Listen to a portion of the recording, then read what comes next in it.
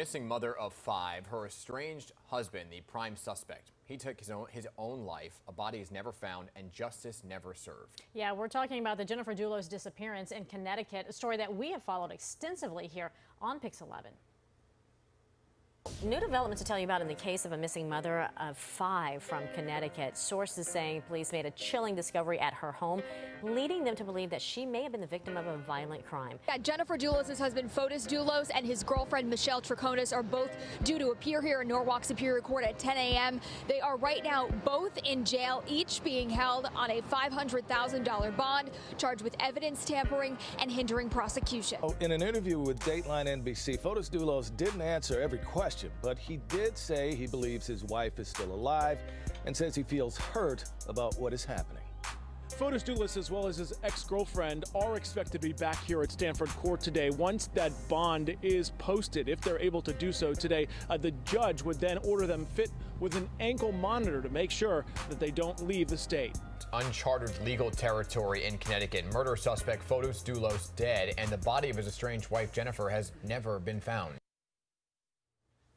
Well, this weekend, the details of that case will be retold in a Lifetime movie, Gone Mom, The Disappearance of Jennifer Dulos. The drama will be followed by the documentary Beyond the Headlines, The Jennifer Dulos Story. Yeah, here to explain more about both projects is legal analyst and author Dan Abrams. He serves as executive producer. Welcome back, Dan. Good to see you.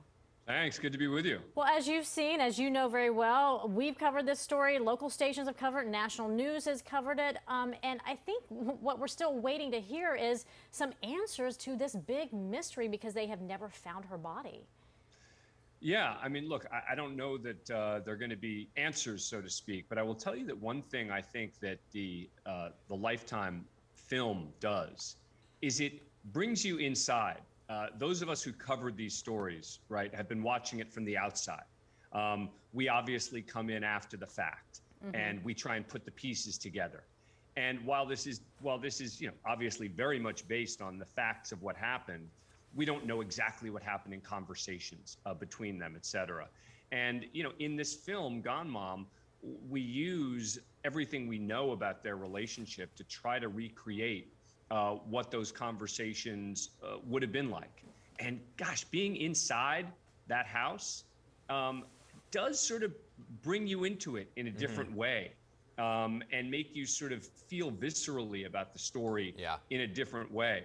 And so I, I say this as someone like you guys who's been a journalist covering it from the outside that I think there's something unique about both the dramatized version that'll mm-hmm. be on uh, from 8 to 10 on Lifetime on Saturday, and then followed by the documentary at 10 o'clock, uh, which brings you through sort of the what actually happened yeah. in the story, which is what we've all been covering quite yeah. a bit. Yeah, I think people have been fascinated by this story every step of the way. So why now, Dan? Why why tell this story now on the big screen? Yeah, well, I look, I think that, you know, some people say is it too soon? Someone asked me that recently, and my response is absolutely not. That the way to get change, right? And you know, there's there's real issues about domestic violence. There is a law uh, that is passed uh, about Jennifer's law, specifically mm-hmm. related to the holes uh, that existed in the law uh, before this case happened. And so I think that uh, now is the time to try to capitalize on that, to try to remind people of this story, to try to seek changes to avoid some of the gaps mm-hmm. in the mm-hmm. law. For example, um, that you know there didn't need to there had to have been physical violence right in order to get you know some sort of action um, and moving away from just physical domestic abuse um, and and I think that that's important stuff. It's absolutely yeah. important, especially now during a pandemic. We saw the numbers of domestic violence go up while a lot of folks were being quarantined with, you know, possibly their abuser. So when you look at this documentary, when we look at the work that you, are doing here, um, who did you talk to, uh, to to get the background information? So for the documentary portion, we talked to uh, a lot of her friends um, to Jennifer Dulos's friends. And obviously, these are people who knew Fotis mm. um, yeah. as well. And I, I, think that that really um, helped bring the story to life. And sort of, you know, what's interesting is in the dramatized version, we tell the story through a friend who becomes, you know, kind of the narrator mm-hmm. of it. And so we, you know, somewhat mirror that in the documentary by talking to you know, the actual people uh, who knew her about what she was like, what she was thinking, how she felt about uh, Fotis, um, different points in the story, uh, et cetera. Is there anything new, a new nugget maybe? Give us a little sneak peek from the documentary that you learned along the journey here. You know, I think it was it was listening to some of the friends talk about their impressions of both Fotis and Jennifer's relationship, Yeah. as well as some aspects about Fotis that I was a little bit surprised to hear. Um, so I, I think that I think that will be interesting even to people who've been following uh, this case very closely. So this wasn't an instance of maybe a freak accident or something like that. It, like, what I'm gathering from you know this conversation with you is maybe this, there was domestic violence that continued over a course of, of a period of time.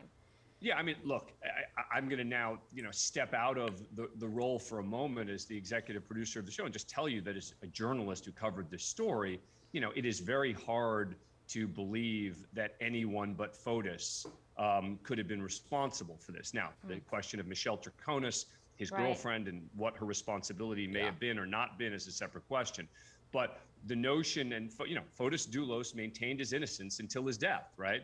Right. Um, but to believe that is to really have to discount an enormous amount of video, physical, um, and other evidence in this case. And, you know, we're never going to get a definitive answer on that. We will with regard to the trial of Michelle Troconis. And Yeah. look, if Michelle Troconis is convicted, that clearly means a jury believes Fotis Dulos did it. Right, right. Hey, Very Dan, we're simply out of time here, but this is fascinating. Can't wait to see it. Thank you for coming on to talk about this. Appreciate you.